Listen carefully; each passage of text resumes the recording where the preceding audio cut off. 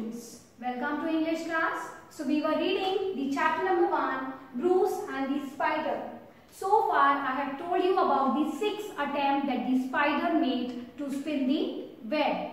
Now when the spider failed for the sixth time, now Bruce thought to himself that he was also hopeless. He thought that the spider will also be the same. She will also not try for the next time.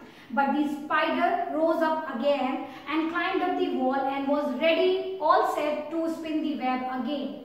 And the seventh time she tried, she was succeed. She got succeeded the seventh attempt. In the seventh attempt, she succeeded. She was able to spin the web. She was able to throw the web or throw the thread to the next side of the cave wall. And in no time, the web was ready. So this gave a huge inspiration to Bruce. He got inspired from the little creature.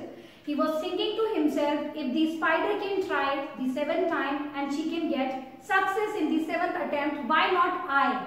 So I am also going to try one more time and this time I, will make sure that I win. So what he did, he gathered the courage and he gathered all his Scottish men he gathered the army and he told them the story of the spider which inspired him. So the same strength, with, this, with more strength and with more courage, they tried the seventh time and as a result, they also got succeeded in the seventh attempt. And after that, English, English army or England never tried to attack on Scotland. And this time, they gave Scotland, they declared Scotland an independent country. After that, they were not having the dare to challenge Scottish people.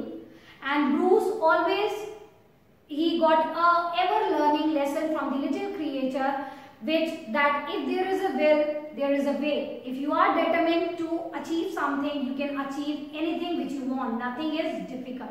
So I hope you all understood the story. Thank you.